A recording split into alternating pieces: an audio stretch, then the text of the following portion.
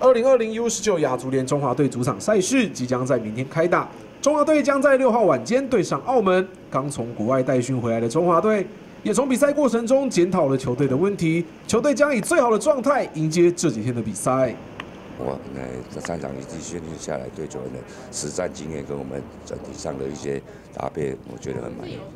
那这次我们这针对这次我们去马来西亚一起训练的，其实成效非常的好。除了第一场，因为对马来西亚的那代表队球员可能在适应上或者节奏还没有跟上的状况，哦，出了预料是是有稍微没有很专注在球场上，但是这个是对我们球队是一个。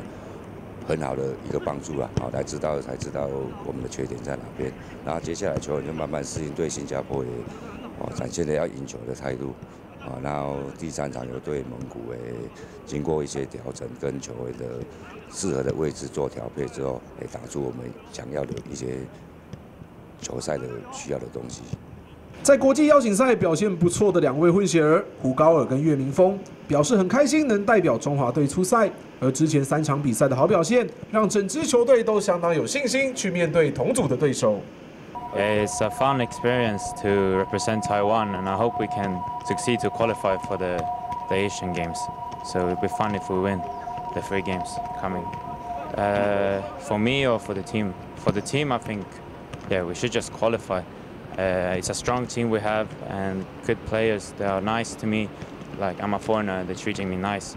So just to qualify is the most important thing and uh, bring joy to the fans because they're coming here to support us and we need to put on a show when they're here. Uh, I think it feels good, uh, especially with the team we have.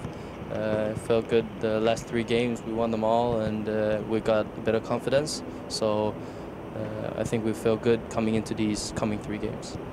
Uh, I guess um, the goals, the goal for this tournament is the team's goals as qualifying for the cup next year.